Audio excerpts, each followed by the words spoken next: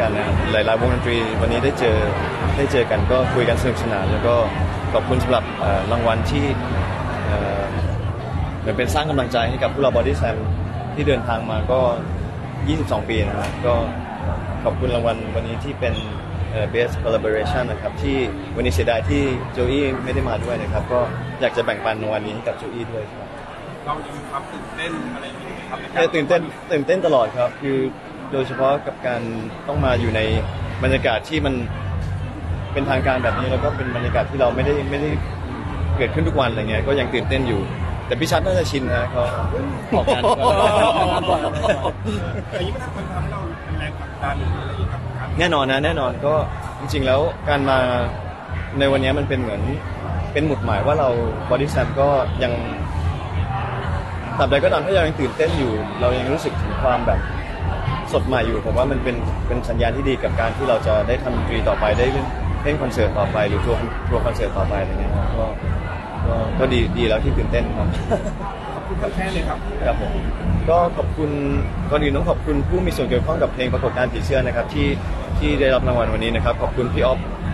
บิ๊กแอสพี่กบบิ๊กแอสครับเอ่อในฐานะเบื้องหลังตลอดมาและตลอดไปนะครับรวมถึงเอ่อสำหรับเพลงนี้ได้พี่โปโปษยะนุกูลมาแต่งเนื้อเพลงให้นะครับ ขอบคุณพี่โปมากนะครับ แล้วก็เอ่อ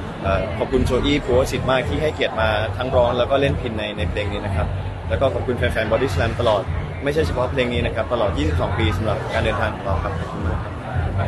ซิงเกิลใหม่นะครับปล่อยไปโอเคโอเคฮะก็เพลงชื่อเข้าสังคมนะเป็นเป็นเพลงที่เราเอ่ออยากจะ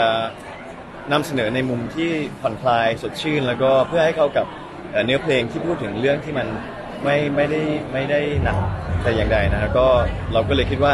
มิอยากอยากให้ทุกคนดูมิวสิกวิดีโอเพลงนี้ แล้วก็ผ่อนคลายตามตามตามพวกเราครับผมครับสรุปอันนี้พี่ตูนเล่นเองด้วยแล้วก็เป็นตัวเองแบบสุดๆเลยใช่ไหมพี่ผมเป็นตัวเองประมาณหนึ่งฮะแต่มีคนเป็นตัวเองเยอะครับเพลงนี้พี่มันคาดหวังยังไงบ้างพี่เราแบบสิ่งที่เราคาดหวังทุกอย่างเอ่อทุกทุกเพลงของบอดี้ทำคือทำให้ทุกคนมี เรามีความสุขแล้วก็ทุกคนมีความสุข ไม่ว่าจะเป็นเพลงที่แบบพูดถึงเรื่องความรักอกหักหรือเป็นเพลงที่พูดถึงเรื่องแบบอย่างเพลงเข้าสังคมนี้ก็ตามอะไรเงี้ยหรือเพลงแม้กระทั่งพูดเอ่อแรงบันดาลใจอย่างปรากฏการณ์ผีเสื้ออะไรเงี้ยเราเรารู้สึกว่าเพลงต่างๆเหล่านี้เรารู้สึกกับมัน เรามีความสุขกับมันที่เราได้ทำมัน แล้วเรารู้สึกว่าพอเราได้ได้ปล่อยมันออกไปเนี่ย เราก็อยากให้ทุกคนได้รู้สึกกับมันเหมือนกับที่เรารู้สึกบ้างไม่มากก็น้อยแค่นั้นเองครับ และมีเพลงนึงที่ปล่อยกับ เออเดี๋ยวรอฟังวันที่ 14 ครับครับผมครับครับการร่วมมืออย่างนี้มันมันยากไหมพี่เพราะเราแบบเออเอ่อจริง ๆแล้วผมว่าอันนี้จะไปไปถามพี่ก๊อฟF.HERO น่าจะได้คำตอบที่เพราะเป็นโปรเจกต์ของพี่กอล์ฟที่เรามีโอกาสเข้าไปร่วม ผมว่าถ้าถ้าตอบในในในความที่เราได้ได้ไปร่วมผมว่าไม่ไม่ง่ายเนาะที่ได้เห็นกระบวนการที่มันเกิดขึ้นแล้วก็แล้วก็จบเอ่อ เป็นมิวสิกวิดีโอที่ทุกคนจะได้ดูในวันที่14เนี่ยผมว่าระหว่างทางน่าจะเกิดการทำงานที่เข้มข้นแล้วก็ค่อนข้างที่จะต้องใช้เอ่อความสามารถแล้วก็ความอดทนเลยเลยเรียกว่าน่าจะเซอร์ไพรส์แฟนๆนะดูนะผมว่าทุกคนน่าจะตื่นเต้นแล้วก็น่าจะชอบเพลงนี้ครับ อีกอันหนึ่งครับที่หลายที่หลายคนรอคอยพี่คอนเสิร์ตของเราครับครับ เป็นไงบ้างพี่ก็เราจะมีคอนเสิร์ตใหญ่ของ Body Slam นะครับที่ Impact Arena เดือนมิถุนายนนี้ครับ ก็ เป็นแล้วคือเราจะมีอัลบั้มใหม่อัลบั้มที่8เนี่ยปล่อยให้ทุกคนได้ฟังทั้งอัลบั้มในช่วงเมษายนก่อนครับแล้วก็ตัวช่วงมิถุนายนเนี่ยจะเป็นคอนเสิร์ตใหญ่ของเราที่ Impact ครับ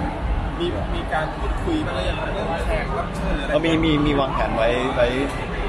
ผมว่าก็70 70 80เปอร์เซ็นต์แล้วครับครับครับหลายคนก็คาดหวังพี่ตูนความหนักแน่นความแบบว่าเข้มข้นความมันอะไรอย่างเงี้ยเขาแน่นอนแน่นอนนะคือ